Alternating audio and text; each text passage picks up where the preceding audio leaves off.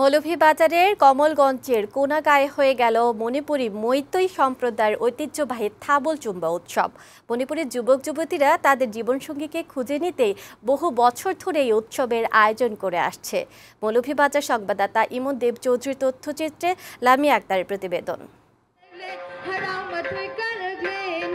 বহু বছর ধরে মণিপুরী যুবক যুবতীরা তাদের জীবনসঙ্গী খোঁজার জন্যই মূলত থাবল চুম্বা অনুষ্ঠানের আয়োজন করে। মৌলভীবাজারের কোমলগঞ্জের আদমপুর ইউনিয়নের কোনাগাঁয়ে হয়ে গেল মণিপুরী মৈতৈ সম্প্রদায়ের ঐতিহ্যবাহী এই থাবল চুম্বা উৎসব।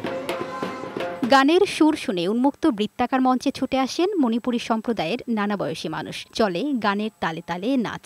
অনুষ্ঠানে একে অপরের হাত ধরে নাচের ফাঁকে ফাঁকে ভাব বিনিময় করে চলে কথোপকথন। এখানেই অনেক যুবক যুবতী তাদের জীবন সঙ্গী বেছে নেন। আমাদের জেনারেশন থেকে আমাদের আগের জেনারেশন জেনারেশন থেকে আমাদের এই সিস্টেমটা চলে আসছে।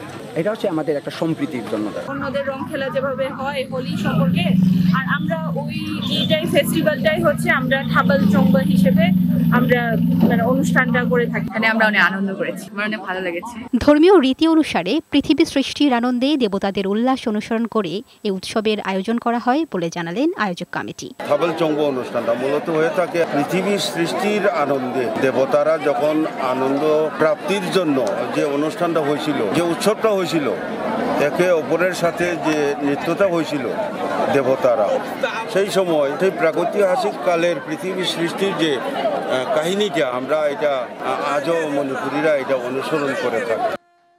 ডেস্ক রিপোর্ট, বৈশাখী সংবাদ।